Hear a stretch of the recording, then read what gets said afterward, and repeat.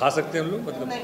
नहीं खा सकते? अच्छा मैं समझा खा सकते हैं। भाई अच्छी चीज़ है हर चीज़ को इस्तेमाल करना चाहिए। शुगर केन है वो भी ऊपर वाले ने बनाई हुई एक एक जिसको कहते हैं ना एक नेमत है वो भी। है तो हर चीज़ का इस्तेमाल है उसको इस्तेमाल करिए। आर्टिस्ट वो उस चीज़ को सोचता है इसको कैसे इस्तेमाल करें।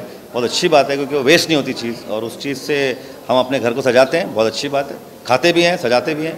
ओके आज जो ये आर्ट का कॉज है इसकी स्पेशल बात ये है कि जो भी आर्ट्स की जो चीज़ें हैं बिकेंगी वो एक स्पेशल कॉज के लिए जाएँगी और उससे जो ज़रूरतमंद लोग हैं उनकी मदद होगी। तो आप लोगों ने क्या डिसाइड किया? आज कुछ खरीदने वाले हैं या सिर्फ़ कॉज को सपोर्ट करने नहीं कॉज को सपोर्ट भी करेंगे ख़रीदना का होगा तो ख़रीद लेंगे लेकिन कोई भी चीज़ जिससे किसी का फ़ायदा होता है वो उसको सपोर्ट करना और उसके हक में बात करना या उनके साथ जुड़ना ये बहुत ज़रूरी है। सो आई थिंक किस जहाँ फ़ायदा हो किसी का मतलब कोई गरीब का या जो जो ज़रूरतमंद लोग हैं आई थिंक इट्स इंपॉर्टेंट किसी भी तरह से ज्वाइन कर सकें. ओके सो जैसे आप लोगों को पता ही होगा क्रिसमस आने वाला है साथ ही में न्यू ईयर आने वाला है तो क्या प्लान है आप लोगों के उसके लिए? क्रिसमस न्यू ईयर अब वो ज़माने गए जब क्रिसमस और न्यू ईयर हम बनाते थे। हम अब तो बांद्रा के रहने वाले हम लोग तो यहाँ पे बहुत ज़ोर शोर से मनाया करते थे क्रिसमस और न्यू ईयर आजकल कुछ अलग हो गया है उसका जोन ही अलग हो गया है। क्रिसमस का एक ताल्लुक एक, एक धार्मिक उस जुड़ से जुड़ा हुआ था। और जीसस से जुड़ा हुआ था और हम जो यहाँ पैदा हुए बांद्रा में तो वहाँ उनकी मिडनाइट मिडनाइट मास प्रेयर्स होते थे तो वो भी हम कभी साथ में चले जाया करते थे। उसके बाद उनका नेक्स्ट डे जो बैंडर जिमखाना में डांस होते थे वगैरह तो एक अलग अलग मज़ा था। अब तो कमर्शियल हो गया है बहुत सब कुछ बट या न्यू ईयर होता है छुट्टियाँ होती हैं तो बेसिकली हम अगर ये कहें कि फेस्टिवल डजंट एक्साइट एनी तो नहीं नहीं एक्साइटमेंट है। हम दोस्तों के घर जाते हैं अपने घर की छोटी सी जो छोटे दोस्त थोड़े से दोस्त हैं उनके साथ मिलकर क्रिसमस मनाते हैं हम मनाते हैं न्यू ईयर भी ऐसे मनाते हैं हम लोग। उसका जो क्रिसमस या जो भी फेस्टिवल होता है उसका जोड़ किसी चीज़ से किसी शख्स से होता है। चाहे वो दिवाली हो उसका एक मकसद है ईद है उसका एक मकसद है क्रिसमस है एक मकसद तो वो मकसद नहीं भूलना चाहिए। अभी क्या मकसद भूल के सारे पार्टी कर रहे हैं?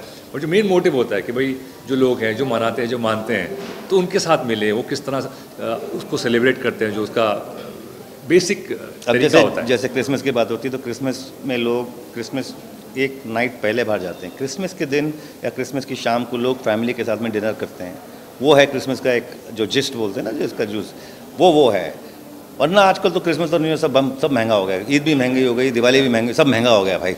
तो महँगाई ज़रा ज़्यादा हो गई है तो दोस्तों के साथ छोटे से घर में एक तो दाल चावल बना के या कुछ थोड़ा सा चिकन रोटी बना के वो बना के मना लो उसमें मज़ा है। ओके जावेद सर आपके बहुत ही जल्द टोटल मूवी आने वाली है जो कि दिसंबर में रिलीज़ होने वाली थी बट अब फैब में चल जी। पोस्टपोन हो चुकी कोई पर्टिकुलर रीजन उसके स्पेशल इफेक्ट्स बहुत थे। तो उसके लिए वक्त लग रहा था और उनको लगा कि दिसंबर में वैसे भी बहुत टाइट हो रहा है और सेक्रे कॉम्प्रोमाइज़ नहीं करना चाह रहे थे। सो आई थिंक उसी लिए फरवरी बहुत से नए नए किरदार भी जुड़ चुके हैं अली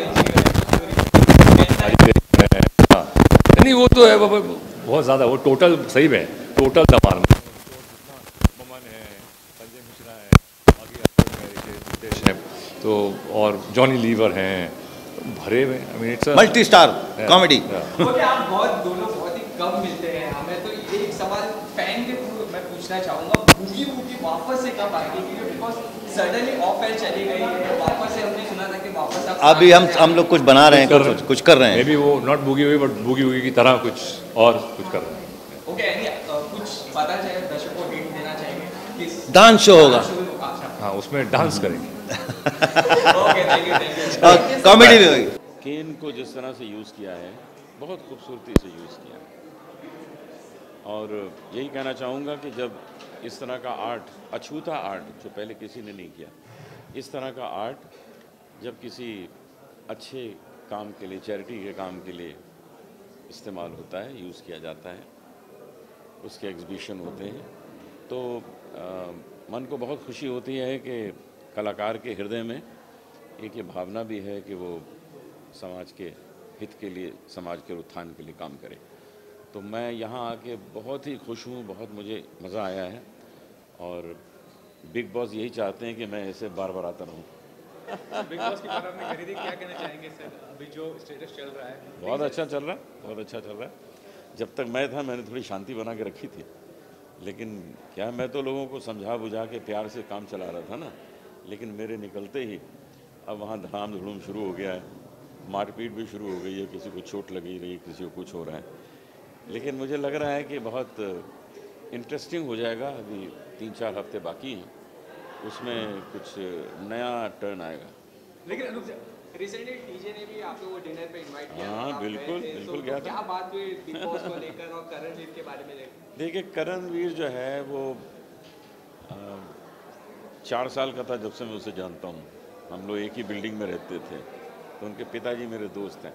तो मेरा मन था कि मैं टीजे को मिलूँ, टीजे को बताऊँ कि वहाँ क्या क्या हो रहा है। वो भी बहुत जानना चाहती थी। तो मैंने उसे सब बताया और वो भी कह रही थी, जहाँ जहाँ केवी की कुछ कमियाँ हैं, वो भी बता रही थी, मैं भी उनको बता रहा था।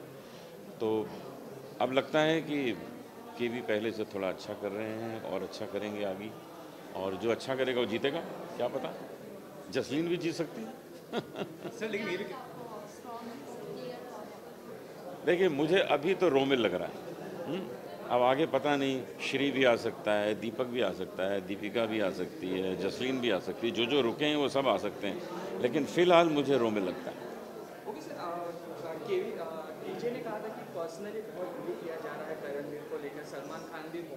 है हैं। तो है? हैं मुझे मुझे मुझे क्या लगता है कि क्योंकि केवी और सलमान काफ़ी क्लोज हैं, वो पहले से ही एक दूसरे को बहुत अच्छी तरह जानते हैं। तो ऐसे में क्या होता है कि लोगों को लिबर्टी मिल जाती है कि हम तो इसको जानते हैं, इसको कुछ भी बोल सकते हैं। लेकिन जो उनके फ़ैन होते हैं, केवी के जो फ़ैन हैं, वो कहीं कहीं उनको बुरा लग सकता है और उनकी वाइफ को भी बुरा लग सकता है। तो इसीलिए उन्होंने लेटर लिखा सलमान को। लेकिन ये बहुत सही है कि जब आपस में जान पहचान अच्छी हो तो इंसान थोड़ी लिबर्टी ले लेता है थैंक यू.